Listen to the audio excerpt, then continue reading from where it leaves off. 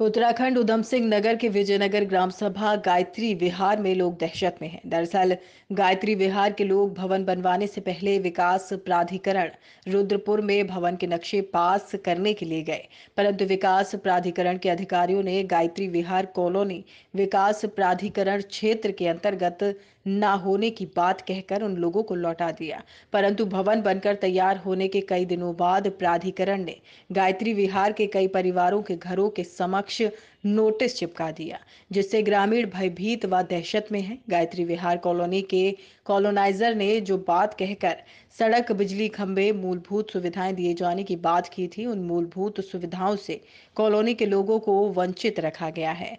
फ़िलहाल लोग दहशत में भयभीत हैं।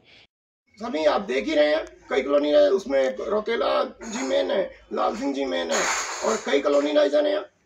वो आप सब जानते ही हैं। अगर मुझे नाम लेना पड़ा तो मैं नाम भी ले दूँगा। हाँ और एक बात मैं ये कह रहा हूँ कि अगर इन्होंने अपनी गुंडागर्दी बंद नहीं की, और अगर इन्होंने गरीब आदमी को जो पहाड़ से बेचारे वहाँ बेच के यहाँ आके मकान लिया है तो मैं मरण अनशन करूँगा प्राधिकरण गेट के सामने। क्षेत्र में कुछ एरिया मास्टर प्लान में आवासीय के अंतर्गत है और कुछ एरिया कृषि के अंतर्गत है। तो कई ऐसे प्रकरण आए हैं जिसमें कि कृषि वाली ज़मीनों में भी लोगों ने प्लॉटिंग काटी है, उसके चालान हुए हैं। चालान होने के बाद उनको पैरवी का मौका दिया गया है, जिसमें मेरिट के आधार पर निर्णय लिया गया है। डिमोलिशन ऑर्डर भी कईयों में हुए हैं और उसका एग्जीक्यूशन होगा। अर्थात जो अवैध कॉलोनियाँ बनी हैं, उसको हटाया जाएगा।